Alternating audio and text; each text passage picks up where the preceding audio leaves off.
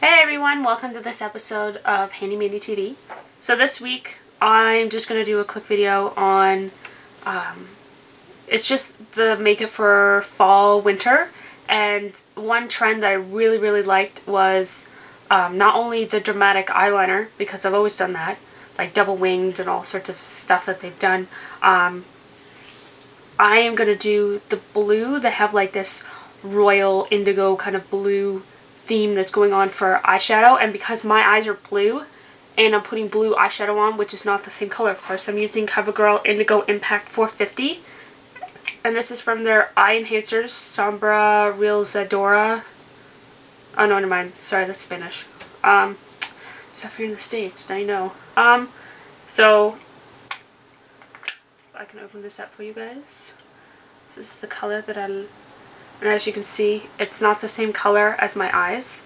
But because another trend happens to be two-tone, which is where whatever your color is, do, um, a, like, if it, my eyes are green light, I'll do a dark green. Or if my eyes are dark green, I'll do a light green. So like that two, and any color your eyes are, just choose the same color but a different shade or uh, warmth or coolness. And that two-toned is really in right now. Um, especially too with the blush and the bronzer like even though technically you're not supposed to you know mix them that two-toned effect is actually really in as well. So um, I have changed some of my routine since the last couple videos. Um, it was mostly from the makeup video by Goss Makeup Artist on 10 trip or 10 tips to change your routine. So um, this CoverGirl Simply Ageless 230 Eye Corrector, um, not only do you rub that on like your red spots to help it cover, but also um, instead of just under your eye, I put it on top of my eye because it's normally purple all the way around, and that way I have base, and then I bring it down and out to give the Kim Kardashian look. And of course, this is winter coming up, so my skin's getting dry, and there's a moisture, that white part in there is moisture, so if I need it I'll mix more moisturizer than the actual corrector to help with my certain areas. Alright, so um, you want to start off, I'm going to do the one for now, and you want to get, I have this Rimmel London, it's uh, Royal Linen, and let me use this for reference. This is a white tissue and this is the color of the eyeshadow. So it's a little bit warmer. I find that if you have cool colors like blue, I don't really, it doesn't look good on me because I'm supposed to be warm tone colors anyways for my eyeshadow. So I like to balance warm with cool colors and cool colors with warm colors. So I'm using a more softer, really light pastel color kind of to balance it out. So what I'm going to do is I'm going to put this in the corner of my eye, and just a little bit on the bottom to the middle, and then all the way on the top, and really getting in here because I'm also going to use um, some techniques to lighten the color of your eyes and just make them pop. Now because I'm doing two different um, tutorials, one for day and one for night, we're going to do both eyes. Alright, so keep this for later. I'm using, it's not a, a dome brush, but it's thin, it's still got a lot of movement, and it's like a dome brush, just longer and not so rounded. It's kind of like this versus rounded. Um, next, I'm going to do the evening one first. So I'm going to take that Indigo Impact CoverGirl color and I'm going to demonstrate this because a lot of people, when they, I noticed that people, when they come into the store where I'm working, they put an eyeshadow and this is full on just one color eyeshadow. They don't really pigment it and you're showing, if you're not putting on the full density of the eyeshadow you're using, the skin color shows through and it doesn't look really aesthetically pleasing. So I'm just going to put this on lightly to demonstrate.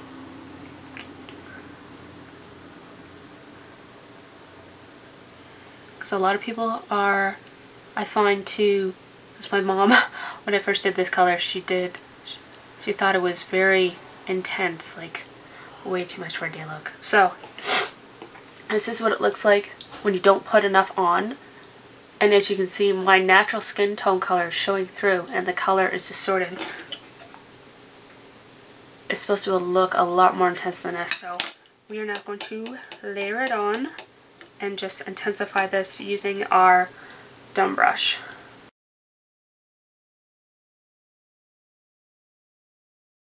So have a um, napkin or a towel handy. Hair, get out of my eye. Alright, um, because you're going to end up taking all this product off and just using it to blend. Um, make sure that the uh, when you're going underneath your eye that the line keeps following because I noticed that when I put my eyeliner up and the eyeshadow goes down like this, it doesn't work. So keep it going up. And as you can see, it's a lot more intense now. I'm going to see if I can make it more. I don't think I'm going to get very much more out of this. It's a little bit more exact to the color that's actually from my eyeshadow onto my eye. I'm intensifying it. I'm making sure that I have an eye primer on so it captures the true color of the eyeshadow. That is very important. And just a little thing that we're going to do before we continue, we're going to take some of this white that we were using before and we're just going to lightly go over it so that it blends more. Just in the middle. Because otherwise it's going to look like there's an invisible line here. We don't want that. Um, and lighter colors go better over dark. So, next up I'm using the Ardene 8B-HE286 and it's a very dark black with a little bit of shimmery sparkle color. I'm going to wipe off the product of blue on my dome brush, which I usually do on a towel because it seems to absorb it more. And now we're going to make it a smoky eye. And we're just going to do right there on the lid. So doing a V on the lid and we're going to do like a 3 and it's going to come up right into the crease. And make sure to get these edges that are on the outside. So it looks like that. And I'm going to start making sure it's more intense around this V on the top and bottom and into this corner because that's where I'm going to put my eyeliner. The darker you put it, the like the eyeliner that I've been using is the Essence and it's a shimmer, so um, it may not completely pop off, I find. So I'm going to wipe off that now. And I'm just going to blend. Soften all these edges. Now I find it works best if you don't go your eyebrows right here. That little tip can go over a little bit, but I find if you go any more, you're going to be way too much. So, that is the black. I'm not going to make it too intense because the eyeliner I'm using is kind of a lighter black shimmer. And it's by Essence Gel Liner Waterproof O2 London Baby. So it's not a full-on black, but it's a little bit lighter with a shimmer. Um, before that, Go back to your white again. You've already done the inner circle. Now I'm going to do right under here. Put it on there so we can correct any lines. So from the corner to that pointed edge, I'm going to do a very, very thin layer right there underneath the eyebrow. And on top, make sure to blend because you don't want it to be one weird, strange line.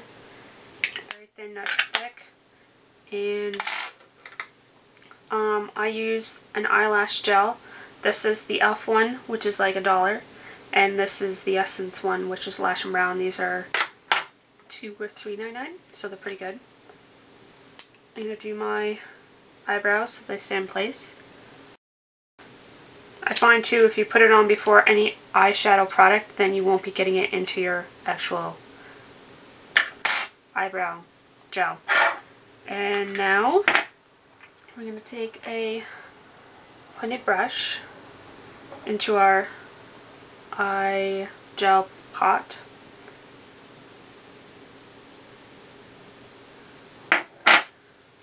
and we're going to do on the bottom to the midway and from the very corner on the top all the way around and do a little line.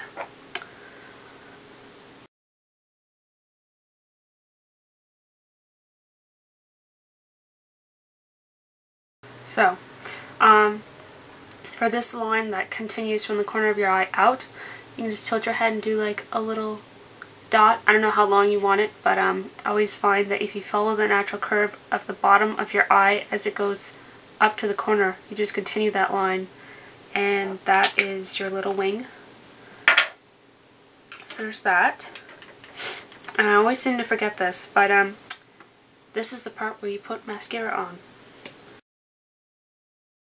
So two coats on the top. This is Lash Blast Length Water Resistant by CoverGirl. I have a lot of CoverGirl products. And if you wanted to add like a little oomph to this look, um, leave a space in here and do like a double wing and you can put some gold in there. Um, gold is a warm color and it really, really works well with uh, blue. Make sure all your edges are blending into the skin so it doesn't look like a line and you should be good. Pair it with a nude lip and um, so that's it for the first one.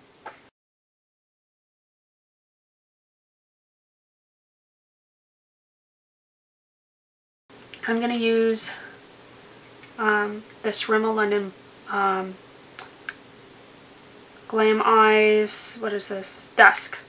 And it's kind of like a nice chocolatey black. Well, not cho too chocolatey, it's more like a dark browny chocolate color. Um, get your dome brush. Don't put too much on because this is a dark color. I'm just going to softly start shading. I'm going to get into that crease just under two-thirds. The more lightly you go, the better. And then you can add more product and get darker.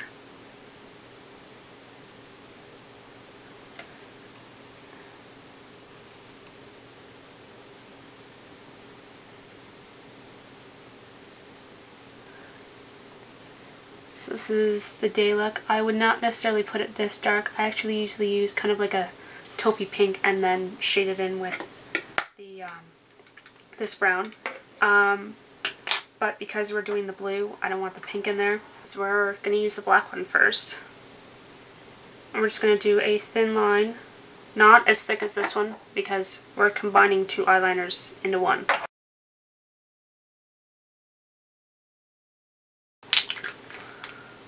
So it's a very thin line, and now go wash your brush, for me it's again, and we're going to do the blue. Now, the consistency of this blue eyeliner is not as, it's a little bit more creamy, I should say, than the other stuff. So, we're just going to put a very thin line over top of that black, all the way from the inside quarter to the edge. And that's it. So this pot was 350 um, I got mine at the bargain shop because Target isn't here yet. Zellers is still going out of business, so once they're done, then Target comes in. Um, but the little brushes that come with these, don't use them. They're very thick, not very thin and pointed, like your actual makeup brush.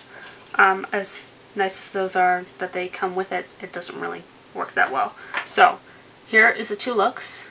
You have your night daytime with just a hint of blue, and you have your nighttime and if you need to you can put a thin line underneath that black of gold and just make it pop. Um, other options are too, they have these like black rhinestoney kind of studs that you can put on your black eyeliner and just give it kind of like that texture look.